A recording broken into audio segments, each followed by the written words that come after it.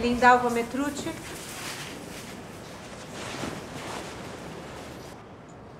Três agachamentos, por favor. Aí, Metrucci, será que a parada vai passar, irmão?